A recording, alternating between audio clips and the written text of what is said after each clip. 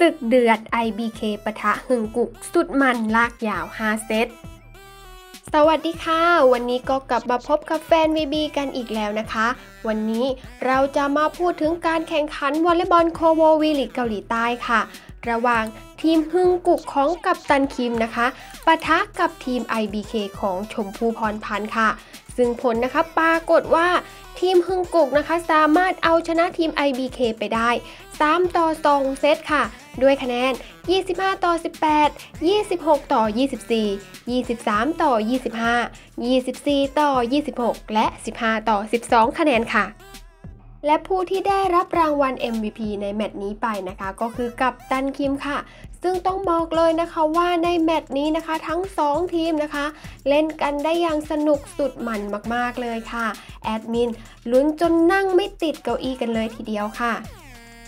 และในวันนี้นะคะแอดมินก็ได้รวบรวมคอมเมนต์ของแฟนกีฬาวอลเลย์บอลชาวเกาหลีใต้มาฝากคุณผู้ชมกันค่ะ แฟนๆกีฬาวอลเลย์บอลนะคะ จะมีความคิดเห็นอย่างไร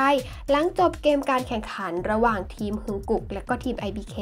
เราไปฟังกันเลยค่ะ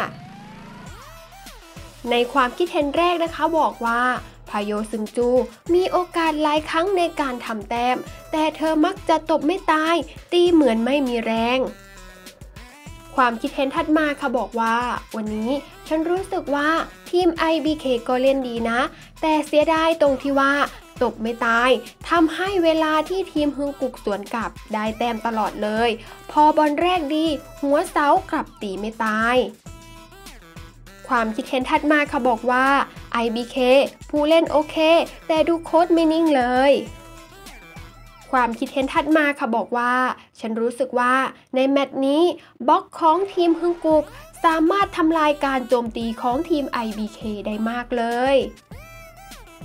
ความคิดเห็นถัดมาค่ะบอกว่า ทีม IBK เกมเปลี่ยนเลย ตัวบุกทำแต้มไม่ได้ ความคิดเห็นถัดมาค่ะบอกว่า ทีมฮึงกุกกลับมาพบกับทีม IBK อีกครั้ง วกคุณโจมตีได้ดีมากๆ แม้จะมีผิดพลาดบ้าง แต่คุณก็สามารถเอาชนะไปได้ 3 ต่อ 2 เซตความคิดเห็นถัดมาค่ะบอกว่า วันนี้ฉันรู้สึกว่า IBK เล่นเครียดเกินไปเหมือนกดดันตัวเอง ความคิดเห็นถัดมาค่ะบอกว่า ในความคิดส่วนตัวของฉัน ทุกอย่างดำเนินไป การสกัดกั้น การป้องกัน การโจมตี มันยากมากที่จะต่อสู้กับทีมฮึงกุก ความคิดเห็นถัดมาค่ะบอกว่าพรพันธ์ต้องเลือกเซตบล็อกเดียวทุกลูก ไม่งั้น ทีม IBK ตีไม่ได้เลย ความคิดเห็นถัดมาค่ะบอกว่า คิมยอนคยองมีความทะเยอทะยานสูงมาก ความคิดเห็นถัดมาค่ะบอกว่า ถ้าทีม IBK ไม่มีอเบอร์คอมบีการจบสกอร์ลำบากแน่ๆ ความคิดเห็นถัดมาค่ะบอกว่า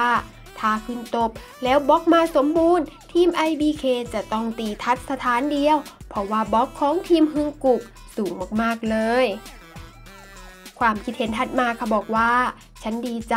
ฉันเป็นแฟนคลับของทีมฮึงกุก ดีใจมากๆเลย ที่ทีมฮึงกุกสามารถทำลายทีม IBK ได้ ฉันคิดว่าทีมฮึงกุกเป็นทีมที่แข็งแกร่งที่สุดในเกาหลี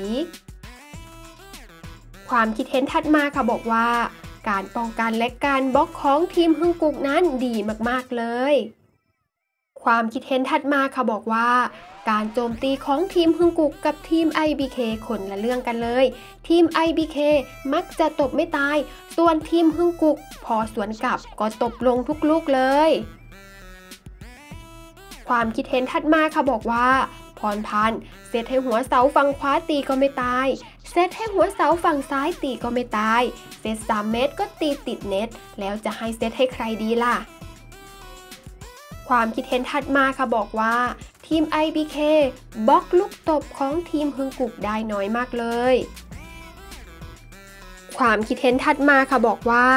การบล็อกและการป้องกันของทีมฮึงกุกดีมากๆเลย ยอดเยี่ยมมากๆ ความคิดเห็นถัดมาค่ะบอกว่า จดจำการโจมตีของคิมยอนคยองนั้นดีที่สุด